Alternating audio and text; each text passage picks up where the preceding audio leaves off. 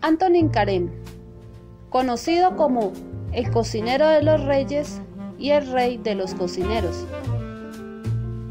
Fue el primer chef repostero en la historia de la gastronomía y el precursor de la alta cocina.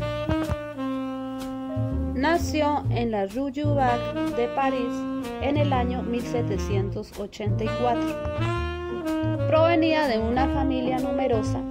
Se hablaba de que tenía 25 hermanos. A la edad de 10 años, su padre le invitó a un almuerzo en un figón de la Barrière Jumaine y lo abandonó a su suerte. Karen, después de errar por las calles durante todo el día, la noche le sorprendió cerca de una taberna, la Friquesie de la Pan, en el mismo barrio de Maine, lugar mismo donde lo había abandonado su padre. El tabernero se apiadó de él y le ofreció hospitalidad por esa noche. A la mañana siguiente le sugirió que trabajara como marmitón en la cocina de la taberna, a lo que Karen accedió encantado.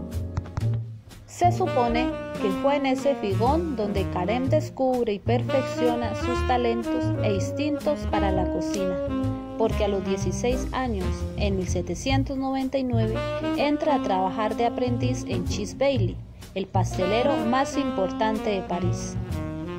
La habilidad y la disposición del joven Karen no pasan desapercibidas para su patrón, que le anima y autoriza para que cuando no haya excesivo trabajo, acuda a la sección de grabados de la Biblioteca Nacional y examine los diseños y grabados arquitectónicos que allí se custodiaban. Antonin no sabía ni leer ni escribir, pero aprende solo, defendiéndose como pudiera leyendo los textos de las obras de Palladio y Tertio, arquitectos reconocidos en la época.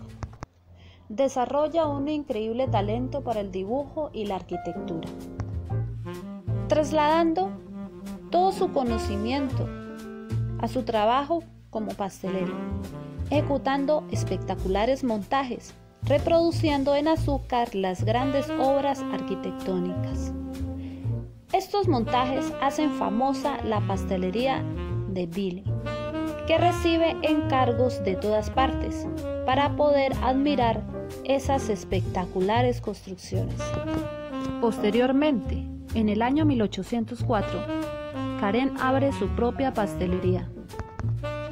Continuó innovando en la pastelería y perfeccionando sus espectaculares construcciones trabajando con los más destacados cocineros de la época. Fue el cocinero de los reyes. Estuvo al servicio del zar de Rusia, Alejandro I. Dirigió las cocinas del príncipe de Gales en Inglaterra, que posteriormente reinaría con el nombre de Jorge IV. Karen preparaba comidas bajas en grasas, pocas especias y pocas calorías. Manejaba la dietética y la nutrición, por lo que el rey cuarto le gustaba cómo preparar sus platillos. Fue el cocinero de altos personajes de la realeza. Durante el resto de sus días, Karen se dedica a escribir obras literarias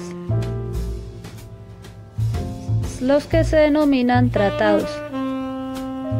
Auténticos tratados, que no se limitan a enunciar un rosario de recetas, sino que analizan, clasifican y examinan todos los platos y alimentos,